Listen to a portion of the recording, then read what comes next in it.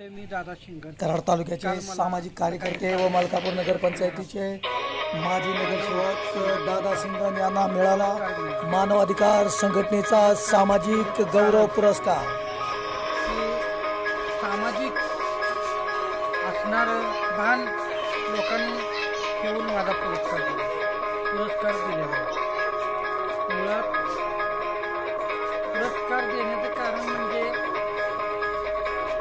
आज मी रस्त्यावर गोरगरीब गोरगरीब रस्त्यावर ज्या वेळेला आधार आधारपणाने आधारपणाने ज्या वेळेला पडलेले असतात त्यावेळेला त्या काही वृद्ध लोकांनी मुंग्या किंवा घाणीमध्ये घाणीच्या सांबरामध्ये पडत असतात.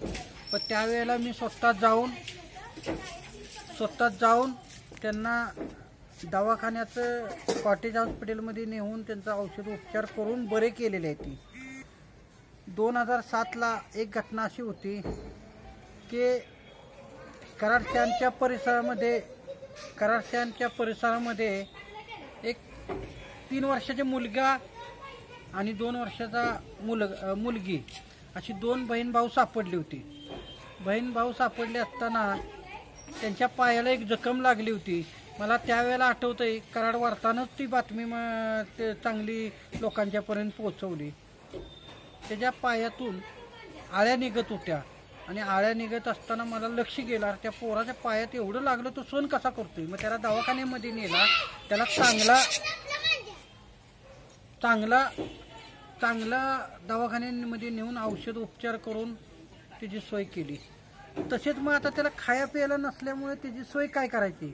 त्यावेळेचे पी आय मुरलीधर मुळीक कराड शहर पोलीस स्टेशनला होते. त्यांनी मला सांगितलं की ही पोरं अशीच भीक मागतात. ह्यांच्यासाठी काहीतरी आयुष्याचं वेगळं करायचं असेल तर तू मसवडला का घेऊन जात नाहीत ती मुलं? मग ती बहीण भाऊन घेतली आणि मसवडच्या अनाथ आश्रमला गाठली. दोन हजार सातला तो किस्सा आहे. आज ती मुलं चांगली शिक्षण चांगली अभ्यास आणि चांगली कृत त्या शाळेमध्ये नंबर काढतात. मला अभिमान वाटतो की आपल्या थोड्याशा वेळेमुळं अनेक जणांचा फायदा झाला. त्या गोरगरीब मुलांनी आज कुठंतरी मी म्हणतो चला जर त्यांना काय करता येत नाही तर कुठंतरी चांगल्या हॉटेलमध्ये मॅनेजरचं तर ती दोघं काम करतील.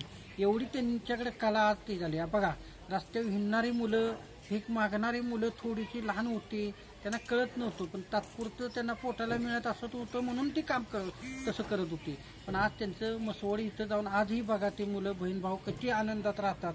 खरोखर त्या कराड पियाचे मुरलीधर मुळीक साहेबांचं मी कौतुक करावं की काय गोष्टी चांगल्या कामाच्या माध्यमातून त्यांनी दाखवण्याचं केलं. तसेच रस्त्यावर बेचाळीस पर्यंत धन दिले असतात रस्त्यावर जे गोरगरीब रस्त्यावर पडलेले असतात. चांगले पोली पोलीस अधिकाऱ्यांच्या माध्यमातून जर त्यांना वाटलं की ही एखादी बॉडी कुठंतरी नेऊन पुरण्यापेक्षा त्याला जर मूठ माती जर व्यवस्थित मिळाली तर आपल्या हिंदू धर्माप्रमाणे किंवा अनेक जातीच्या प्रमाणे ते चांगलं असतं. तसेच मी पंच्याऐंशी ते ऐंशी रस्त्यावरच्या ज्या औषध उपचारासाठी बेवारीस होते. ते दवाखान्यात ॲडमिट करून चांगली तब्येत करून ते सोडले. गेले सतरा वर्षी हिंदू मुस्लिम जे काम करतो दिवाळीच्या आणि रिमांडोमच्या मुलांचं त्या संदर्भात दिवाळी करतो. ती मुलं खिडकीतनं दिवाळी किंवा एक मी ती चार वर्ष तिथं वाचल्यामुळे मला त्यांचं दुःख माहीत आहे. त्यामुळे मी त्यांची सगळी दिवाळी आता मी दिवाळी करत असतो. त्यावेळेला समाजातले अनेक सर्व अधिकारी बाळासाहेब पाटील असो सर्व पक्षाचे नेते तिथं येत असतात. आणि त्या कामाचाच आज गौरव आणि त्या कामाचीच पोचपावती मी खरं म्हणायचं म्हणलं की माणसं म्हणतात काय काय वेळेला इज्जत आमची जाती. इज्जत कवा जाते माहिती आहे का? ज्या वेळेला एखादा आपला फोटोवाला आपल्याला सांगत असेल की आपला फोटो काढा त्यावेळेला तुम्ही हसण्याचं जे नाटक करताना त्यावेळेला खरी इज्जत. इज्जत ही असते काय नसते. तुम्ही काम करा. कामाचे पोचपावती म्हणून आज माझ्यासारख्या सात सामाजिक पुरस्कार मला मिळाले. म्हणावं गेलं तर पक्षाच्या कुठल्याही राजकीय व्यासपीठाच्या माणसाला कोणीही पुरस्कार देत नाही. पण माझ्यासारख्या माणसाला सात पुरस्कार देऊन जो सन्मान केला तो खरोखर कौतुकाने हा पुरस्कार माझ्या पिढ्यानपिढ्या माझ्या मुलाला पण तो उपयोगाला पडणार की आज वडिलांनी काही त्या का माध्यमातून काम केलं तसंच ते मुलं पण सामाजिक काम करत राहणार.